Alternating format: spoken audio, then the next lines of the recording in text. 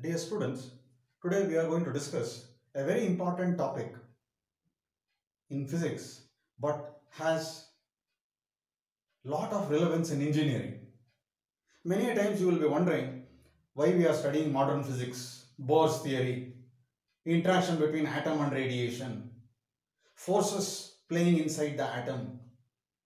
You may be wondering why are we being taught all these concepts. Today you will see a wonderful justification. Atoms, study of atoms, properties of atoms have given engineers a very important tool. Today if you ask me, what is the technique by which large amount of data is being transmitted? Optical fiber communication. And in the optical fiber, it is laser which carries the information. If you ask me, what is that tool that is being used by doctors for surgeries, eye surgery, laparoscopic surgery, laser? What is the device that is used in garment factories for precise cutting? Laser. Laser aided cutting tools, welding tools, drilling tools. Laser light is used in interferometers for finding distance between galaxies. Why laser is used in all these applications? Laser is produced by atoms.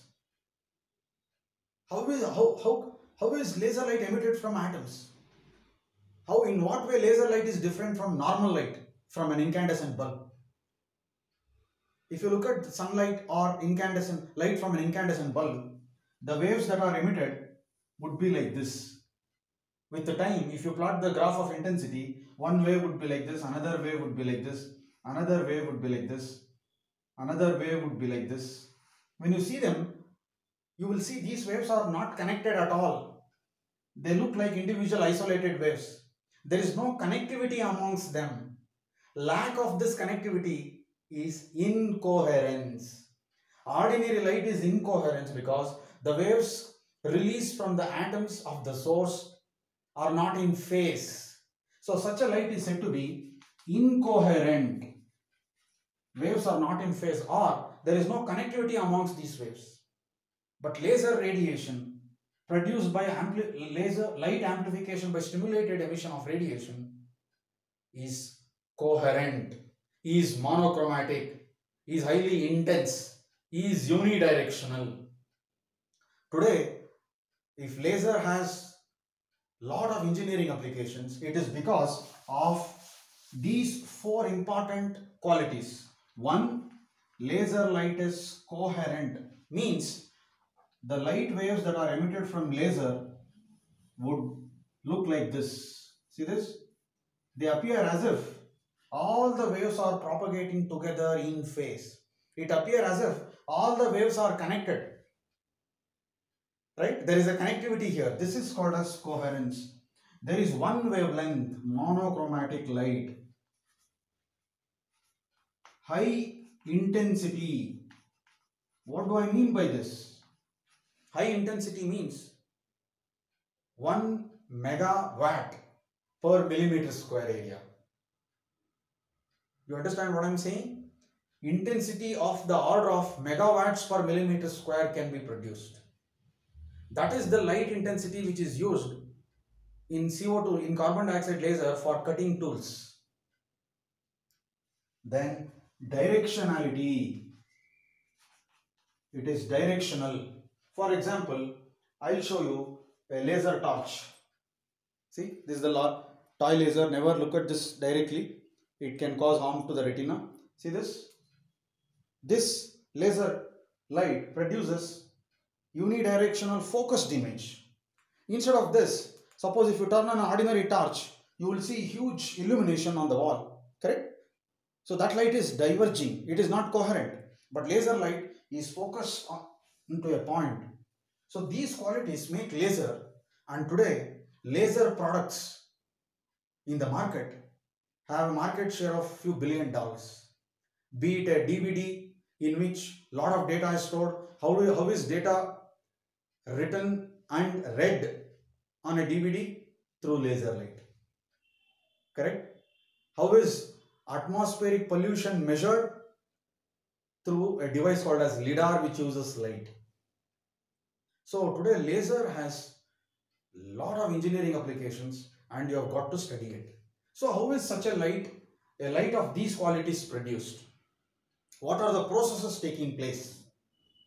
What are the uh, requisites of a laser system? What do you require? Suppose tomorrow i want to make a laser unit. What are the important things i need? What conditions are to be sustained?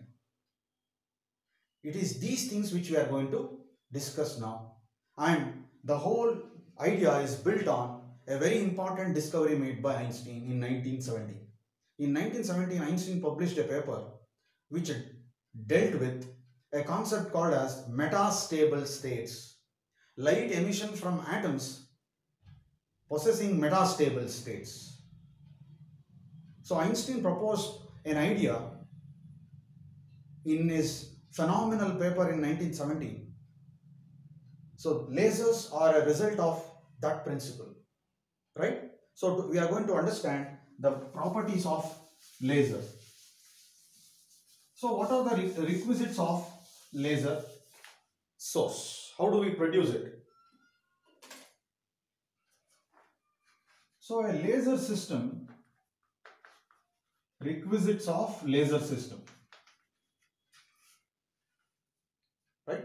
Light amplification by stimulated emission of radiation. I am going to explain what is stimulated emission. What is spontaneous emission? For example, light from sun, light from incandescent bulb, they are all spontaneous emission, incoherent light. Whereas, what is stimulated emission? Emission caused by stimulation. That is the principle of laser. So, what are the uh, requisites of a laser? First thing what we need in a laser is active medium.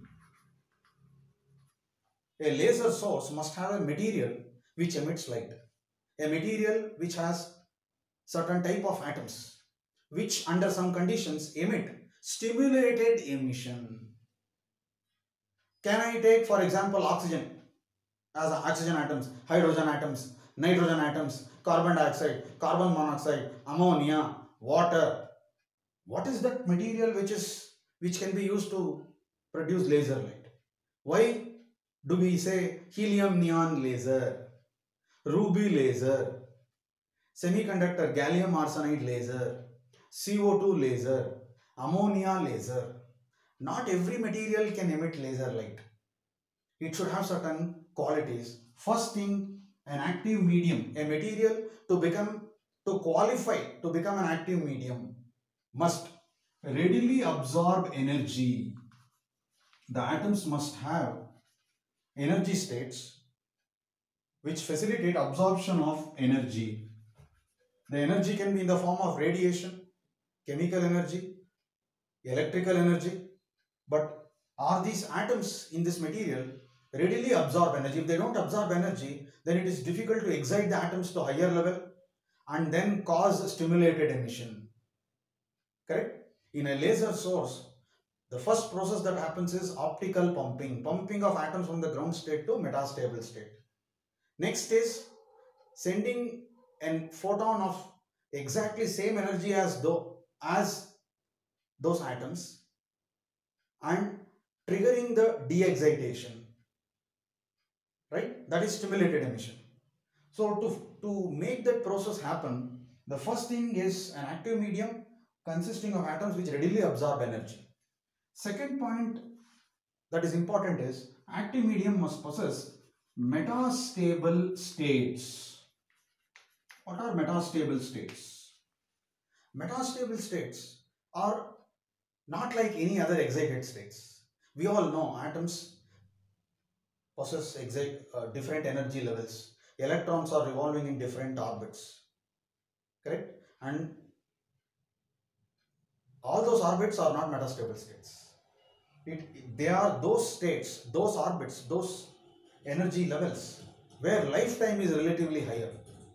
In a normal excited state, if an electron is excited to a level, then it stays there for few nanoseconds, picoseconds, 10 power minus 9 seconds.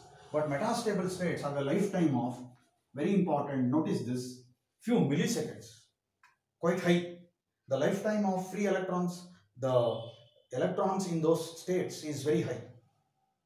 Now, why is this? This is a very, very interesting point which you must uh, think of. How can these levels be detected in the first case?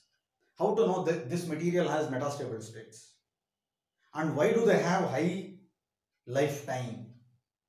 So one has to apply Heisenberg's uncertainty principle, Schrodinger's equation, quantum mechanical theories to understand, to identify a suitable active medium. All materials cannot have cannot be active medium. For example, carbon dioxide laser. Carbon dioxide is a good active medium. Helium neon is an active medium, but not oxygen. How is this possible? So it depends on these qualities. Correct? Second thing you require is very important what is known as resonance cavity. See here? This is very important for amplification of radiation. What is resonant cavity? A resonant cavity has, see this? It consists of two mirrors separated by a certain distance. This mirror, for example, is partially silvered. This mirror is fully silvered. Right? If the separation between them is L, if this is equal to integer multiple of half the wavelength, then if you send this radiation of this wavelength lambda, then the light ray that is propagating from this plate to this plate and that is reflected from this plate, these two undergo constructive interference such that these points become nodes and you will have maximum intense radiation. Is it clear? A resonant cavity in the case of laser is it consists it comprises two reflecting plates separated by a distance integer multiple of half the wavelength of light that is being amplified. Suppose if you say this condition is not satisfied, then you know what? As the rays propagate between these plates, they undergo destructive interference and no amplification occurring. Is it clear? So please think of this. How is this happening? One point I would like to highlight is when this condition is maintained, these points act as nodes. You know nodes and antinodes. Suppose if a string is connected between two points is plugged at the center, it produces waves like this, right? These points are called as nodes where amplitude is minimum, whereas here amplitude is maximum. So in this resonant cavity here amplitude is maximum. Maximum ampli amplification is happening as the ray undergoes multiple reflection. That amplified light comes out. So a resonant cavity is very important. Now third uh, requisite for a laser is a suitable energy device, a suitable pumping device to pump atoms from ground state to excited state. When, when are atoms emitting radiation? When electrons make a transition from higher level to lower level. How do you push electrons from ground state to higher level? You need an energy source. It can be a light source, it can be electrical energy, it can be thermal energy, it can be chemical energy, but you need a light energy source this process of pumping electrons from ground state to metastable state is called as optical pumping. Exciting electrons, atoms from ground state to excited state. So these three are very very important requisites of a laser. Now if you have all these three, now what is the condition that has to be sustained to produce laser light? These are like hardware requirement. Correct? To make a laser you need an active medium. Let us say I have taken carbon dioxide. It is a good active medium. Or helium and neon. Or ruby laser. Aluminum oxide. I have resonant cavity. Two mirrors separated by some distance. A discharge tube. Okay. Next I have a source. An electrical voltage source which can give us 3000 volt. So I have all these hardware requirements. Now what is that condition that has to be created to produce laser light? So we discuss that. These are called as lasing conditions. Right? What is lasing condition? What are lasing conditions?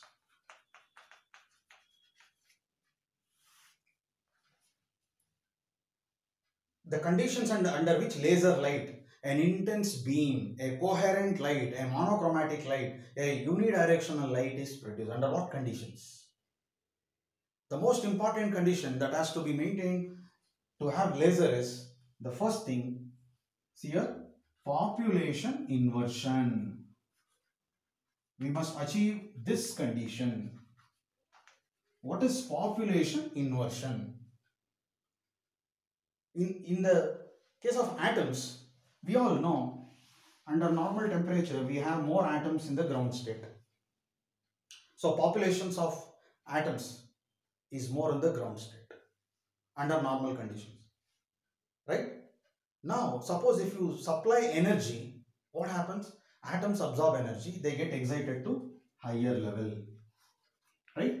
This process of exciting atoms to higher level is called as optical pumping. We are supplying energy to these atoms and pushing them to higher level. Now, when they go to higher level, what happens now? The population. Earlier, population of atoms in the ground state was quite high. Now, that condition has now inverted atoms in the excited state are more than atoms in the ground state. This inverse of situation, inverse of population is called as population inversion. It is a condition in which number of atoms in the excited state is high. Under normal condition, ground state possesses more atoms. Correct? Now, how does it occur? Pop optical pumping. Right? You have an energy source which supplies energy to these atoms in the ground state to pump. Now I have atoms here, okay, and this level is called as metastable state. Now there are more number of atoms grouped here. How is laser beam produced? If these atoms that are in the excited state allowed for themselves, they will get randomly de-excited and produce incoherent light. Spontaneous emission will occur. If, an, if electrons or if atoms are excited, what, what will happen? They stay there for some time and get randomly de-excited. That is known as spontaneous emission. They emit light that is not coherent, that is out of phase. There is no connectivity. So now, when population inversion is achieved, then we have to make sure spontaneous decay is avoided and a, another process called as stimulated emission is triggered. What is that stimulated emission? This is the third condition which we have to create. Stimulated emission means a process in which we send a photon of same energy as energy of these atoms, excited atoms. What is the energy of these excited atoms? If this is E1, if this is E2, energy of these atoms is E2 minus E1. So now, if we send a suitable photon, here, whose energy is E2 minus E1, which is as, which is having same phase as these atoms. So it is not just energy. The photon must be in phase. That photon will interact with these atoms now, two important questions. You may say the atoms may absorb this photon and go to next level. Can it happen? Then no laser light. No, we say such things should should not be allowed to happen. How can we avoid such cases? We while selecting the active medium, we must ensure those atoms do not possess nearby energy levels close to Fermi level that is when an active medium is decided. So we cannot take all materials to produce laser light. Only certain materials can become qualified to become active medium because they must have metastable states and no nearby energy levels. So this photon will not be successful in exciting them to next level, as there are no vacant energy states or no energy levels nearby. Instead, the electromagnetic field of this photon interacts with this and a condition called as resonance occurs. What is resonance? Two objects of same phase, same frequency vibrating at same frequency, right? So, the atoms have some energy and the photon that is being sent by external agency has same energy, same phase. They interact and most of the times decay of atoms occurs. All the atoms decay at the same instant producing coherent light. Correct? See this? All the atoms. There is no randomness involved here. No spontaneous emission. The decay is happening because of the trigger of this photon. This is called as stimulated emission. Emission caused by stimulation of stimulation emission caused by sending a photon. This is stimulated, right? Triggering a de-excitation. External photon is used to trigger the de-excitation. This process of producing coherent light by the decay of atoms caused by an external photon. So this light is called as laser light. So for, la for laser beam to be produced, population inversion must be achieved. So here I wish to present an expression. Number of atoms in the ground state to number of atoms in the excited state are given by Maxwell-Boltzmann law. N ground by N excited is equal to e power hc by lambda kT. So it is related to temperature, you understand the ratio of number of atoms in the ground state to excited state is given by this formula. Population inversion means number of atoms in the excited, excited state should be very high. Correct? That is achieved by optical pumping. Now, sending an external photon of same energy, same frequency, same phase will trigger de-excitation causing laser beam, coherent light of radiation. So, this is how laser is produced. Now, Einstein gave a mathematical formula which clearly explains under what condition amplification occurs. Under what condition we can sustain this laser emission. Right? So this mathematical process, we call it expression for Einstein coefficients. So we'll now discuss a very important derivation which is asked so many times in the exam, the expression for Einstein coefficients. This expression will tell us under what condition stimulated emission is dominating, under what condition spontaneous emission dominates, how to suppress spontaneous emission. Expression for Einstein coefficients. Okay. This expression will tell us under what conditions stimulated emission will dominate. Right? So now it's a very easy derivation. We use black body concepts, we use Planck's law, we use formula for population inversion Maxwell-Boltzmann law and just the concept of thermal equilibrium. Okay, very very easy derivation. So now Look at the basic laser process. The first processing laser is we have active medium, atoms in the ground state. Now use optical pumping process, make that supply energy to these atoms, excite them to higher level. Correct? So this situation of population, high population in the ground state is inverse now because of optical pumping. So pop, population inversion achieved correct so what has happened now this process is induced absorption atoms are absorbing energy from external source we have to supply energy e lambda so now if i write an expression here rate of absorption of energy or rate of induced absorption or probability of induced absorption. Correct? Energy is being absorbed by the atoms. So how much energy are they absorbing? we know it is definitely it is proportional to number of atoms in the ground state. Correct? If there are n1 here and n2 here the number of atoms in the ground state are absorbing so it is proportional to n and also it is proportional to energy you are sub, sub, sub energy density which you are supplying. I call it e lambda. Correct? From external source we are supplying energy.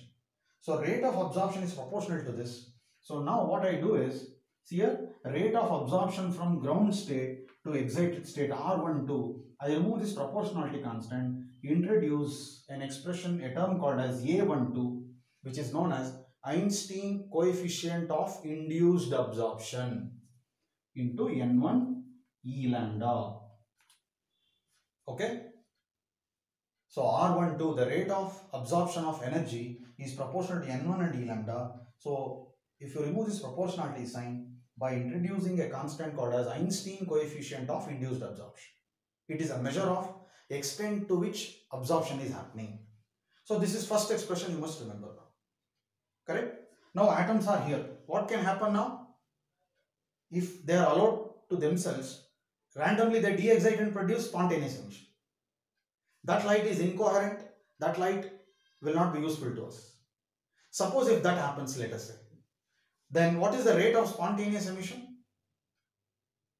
That spontaneous emission does not depend on any external agency, right? We are not supplying any photon. It, is, it just depends on number of atoms in the excited state. So the first process is rate of absorption. Now second process, rate of spontaneous emission which will always happen if the system is not disturbed. Correct? If just from the atoms there, they go to excited state and they get de-excited randomly, spontaneous emission will occur is proportional to what? Just number of atoms in the excited state. Correct?